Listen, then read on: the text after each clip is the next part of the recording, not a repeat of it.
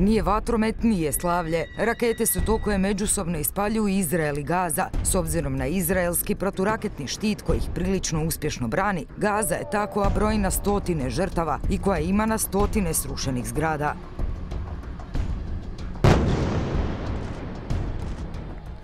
They are still going. I can even hear them in the background. It's been for a week now. Uh, uh, Israeli airstrikes and bombardments have been taken uh, on different areas in the Gaza Strip, and uh, around 213 people have been killed so far, including uh, uh, 61 children and 36 women. Anas nam se javio iz istočnog dijela Gaze. Internetska veza je slaba, ali iz nekoliko pokušaja smo uspjeli. Slika je loša, ali je ima. Radi kao slobodan novinar, ima 26 godina i živi cijeli svoj život u ratu, pa čak i kada je govori nam prividan mir. A lot of restrictions on the movement, on the freedom of movement of uh, a lot of Palestinians in this trip. People are living in poverty, people are unemployed, a lot of uh, the youth, uh, youth is uh, particularly uh, the young people, 60% of them do not have jobs. Posljednji je sukob započeo dalje od Gaze oko koje se dugogodišnja problematika vrti. Islamski Hamas je ispalio rakete nakon sukoba izraelske policije s palestincima koji žive u Izraelu ispred džamije u Jeruzalemu tijekom Ramazana. Tenzije su zavrle jer je Izraelski sud trebao odlučivati o deložacijama palestinskih obitelji iz njihovih domova u Jeruzalemu koje potražuju židovski doseljenici. Hamas in Gaza used the demonstrations and the protests and some of the violence that was taking place in Jerusalem around the Temple Mount and around some of these homes in a neighborhood called Sheikh Jarrah where uh, Palestinians live and Israel has said it might evict those Palestinian homes from there as the reason or the excuse for why it needed to start this round of violence. Izraelci će reći kako Hamas iskorištava bilo što kako bi ispalio rakete. Palestinci pak ne dijele to mišljenje. Tvrde ako žive u Izraelu, građani su drugog reda. Ako žive u Gazi, to nije život, već blokada. People assume that because there's no clash, there's no, uh, you know, bombardments or violence, it means that Palestinians in Gaza are just, uh, you know, having a normal life. Sve u njihovim životima govori nam ovisi o granici i dobre volji Izraelaca. S njegovim mišljenjem slaže se Izraelac Levi, novinar koji je karijeru posvetio borbi za pravdu nad palestincima. There's a problem that Gaza is the biggest cage in the world today. And uh, Israel is doing an experiment in human beings putting them in a jail for 15 years now, and let's see what happens to two and a half million people living in a jail. Gaza je površine manje od otoka Krka s natiskanih 2,5 milijuna ljudi i strogo kontroliranom granicom od strane Izraela. Svaki petak već godinama tamo se održavaju prosjedi za slobodu kretanja na samoj granici. Svaki petak s novim žrtvama. Naš suradnik Zoran Marinović tamo je bio prije dvije godine. Od tada malo se što promijenilo. ونعيش الحصار منذ 12 عاما نعاني من الحصار. نحن نبحث عن حقوقنا. نريد أن نحيا حياة كريمة. نحن لا نستجدي هذه حقوق كفلتها القوانين الدولية. نريد أن نحصل على أبسط حقوقنا.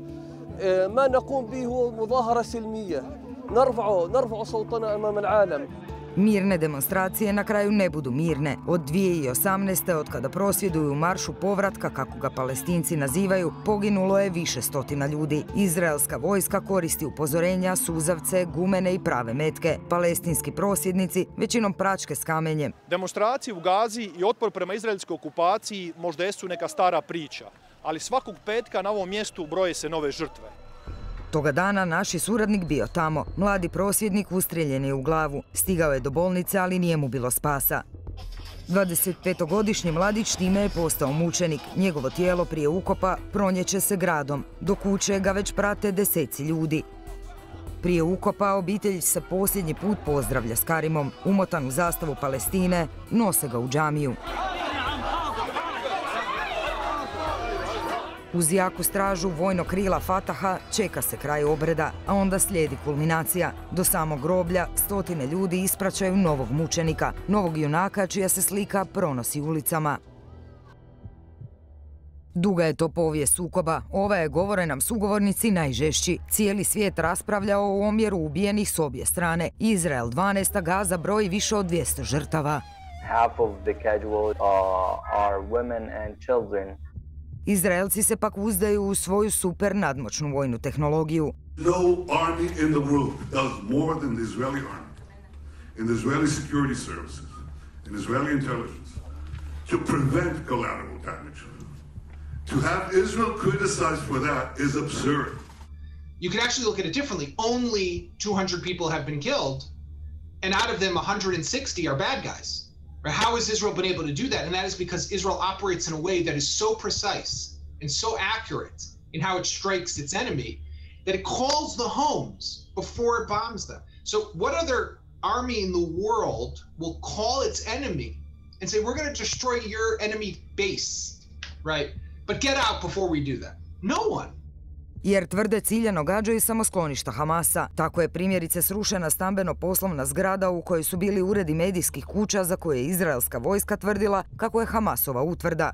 If there was any targets, they would not ask you, but it's only meant, it's a policy that is meant to crush the, the, the will of the people, to break the will of the Palestinian people in Gaza and to, you know, pressure uh, Hamas at the expense of civilians. That's that, that's the Israeli tactic that's been going on since 2014.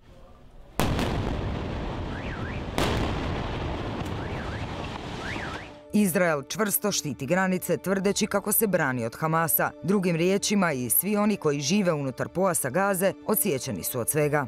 Remember just uh, a few months ago, uh, Israel did not want to let Palestinian patients get the, the COVID-19 vaccines because they they cited you know uh, uh, nonsense claims that these vaccines are gonna go to Hamas. It's it's just nonsense. Vlada veliko siromaštvo i nezaposlenost i u svemu ovise o Izraelu, govori na Manas.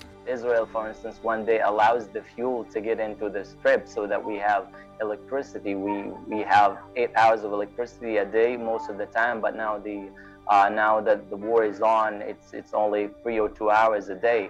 Kako se tamo živi od 48. kada je to postao deklarativno neovisan teritorij nakon egipatsko-izraelskog rata, istraživao je izraelski novinar židovskog podrijetla Gidon Levi. Dobitnik je brojnih nagrada za promicanje ljudskih prava. Rođen i odgajan kao nacionalist, promijenio je stavove posjećujući pojas Gaze. Most of the Israelis see only themselves and only what the media is telling them, namely that we are the victims, they are the aggressors, they want to kick us to the ocean, and we are fighting for our survival. None of these sentences is true, but most of the Israelis deeply believe it. Ne slaže se da je u pitanju samo Hamas kao glavni problem, jer se tamo ljudi desetljećima prije Hamasa bore za slobodu. Israel is fighting against any political Palestinian organization. Uh, there is no legitimate uh, political organization in the eyes of Israel. Israel always uses the security as a main uh, excuse, and obviously it's very easy when you face Hamas because the EU does not recognize Hamas. Pa stoga su ljudi koji tamo žive praktički u zatvoru. So I think that Hamas might be blockaded in Gaza, but that's their own doing. They are blockading themselves. They are holding their own people hostage. If they just put down their weapons, there would be no fighting, right? We're not shooting at them. They're shooting at us. We're defending ourselves. If Hamas is keeping us as hostages or prisoners, as uh, the Israeli army would like to to let the world know, uh, then um, ask them, um, I asked them, why don't you let students, even Palestinian students, go out and let them through the air crossing to complete their studies? You, you, you crush their dreams and hopes. U Izraelu od 9 milijuna stanovnika 2 milijuna su Arapi, objašnjava nam Kac. Jakov Kac je Amerikanac židovskog podrijetla koji se vratio u Jeruzalem. Vojni novinar, današnji urednik Jeruzalem posta. On ne govori o palestincima, već o izraelskim Arapima. Kaže, punopravni su članovi društva, ali pitanje je čini li država sve kako bi se oni tako zaista osjećali. And that's a big I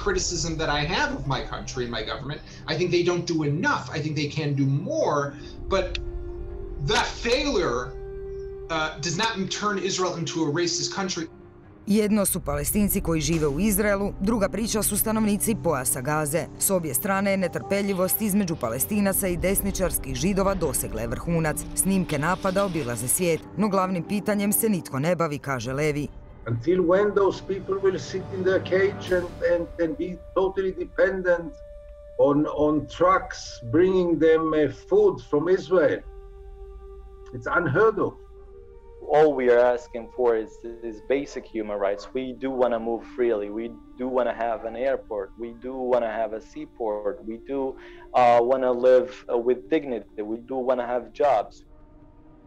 Pitanje Gaze se izbjegava, stoga kritičari Izraela sve više spominju holokaust kao podsjetnik na ljudsku patnju. The question is how come that for Israelis it doesn't ring a bell to see fences, for example, to see two million people under fences.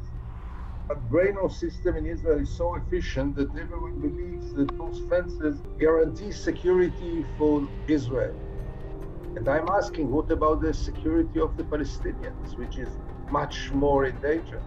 S moćnom, jednom od najsofisticiranijih vojski na svijetu, rijetko ko se može nositi. Stoga govori Kac, novac koji je potrošen za 3000 raketa koje je Hamas ispalio na Izrael i onaj uložen u infrastrukturu kako bi to mogao učiniti, mogao je biti uložen u nešto drugo. We're talking about millions and millions of dollars. Imagine they took that money and instead of investing it in throwing rockets at us, invested in their own people, improve their quality of their life. Anas je sa svojih 26 godina govori već umoran od svega. Smatra se nevjerojatno sretnim što nije još izgubio nikoga od svoje obitelji i dom. Mnogi su u Gazi ostali bez ičega. Dramatične scene spašavanja petomjesečnog dječaka obišle su svijet. I'm hopeful that it is to end one day, just like apartheid ended in South Africa. Analitičari i geostratezi tvrde da situacija nije crno-bijela. Svijet se zgražava ili pak svrstava na strane jednih ili drugih na društvenim mrežama, a narod ko narod, bilo koje vjere ili nacionalnosti, je taj koji je uvijek na gubitku dok se odigravaju neki viši ciljevi, no uštrb ljudskih života i tisuće uništenih sudbina.